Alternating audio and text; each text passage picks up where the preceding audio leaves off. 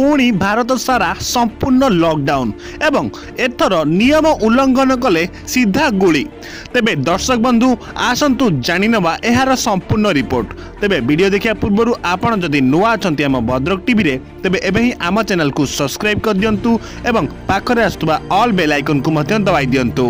ତେବେ ଡେରି ନକରି ଚାଲନ୍ତୁ ଆରମ୍ଭ କରିବା ଆଜିର ଅପଡେଟ୍ ନ୍ୟୁଜ୍ କରୋନା ଭାଇରସକୁ ପ୍ରତିହତ କରିବା ପାଇଁ ଭାରତ ସରକାର ଚବିଶ ତାରିଖ ରାତି ବାରଟାରୁ ଏକୋଇଶ ଦିନ ପାଇଁ ସାରା ଦେଶରେ ଲକଡାଉନ୍ ଘୋଷଣା କରିଥିଲେ। କିନ୍ତୁ ଏହା ଏତେ ମାତ୍ରାରେ କାମ ଦେଇନଥିଲା ତେବେ ଏବେ କେନ୍ଦ୍ର ଗୃହ ମନ୍ତ୍ରାଳୟ ସ୍ଥିତି ସମ୍ଭାଳିବା ପାଇଁ ସଜାଗ ହୋଇ ପଡ଼ିଥିବା ବେଳେ ବିଭିନ୍ନ ରାଜ୍ୟର ମୁଖ୍ୟମନ୍ତ୍ରୀ ମଧ୍ୟ ଆଦେଶ ପାଳନ କରିବା ପାଇଁ ତତ୍ପର ହୋଇଯାଇଛନ୍ତି। ତେବେ ତେଲେଙ୍ଗାନାରେ ଏହାର କାର୍ଯ୍ୟକାରିତା ଉପରେ ମୁଖ୍ୟମନ୍ତ୍ରୀ କେ ଚନ୍ଦ୍ରଶେଖର ରାଓ ଅଧିକ କଠୋର ଭାବରେ ପୋଷଣ କରିଛନ୍ତି। ଯେଉଁମାନେ ଲକଡାଉନର ନିୟମ ଉଲ୍ଲଂଘନ କରୁଛନ୍ତି ସେମାନଙ୍କୁ କଡ଼ା ଚେତାବନୀ ଦେଉଛନ୍ତି ଏବଂ ଯଦି ଲୋକମାନେ ପୋଲିସର କଥା ନ ଶୁଣିବେ ତାଙ୍କୁ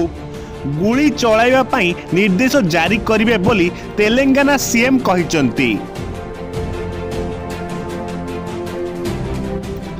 ତେବେ ଦର୍ଶକ ବନ୍ଧୁ ଏବେ ସମୟ ଆସିଛି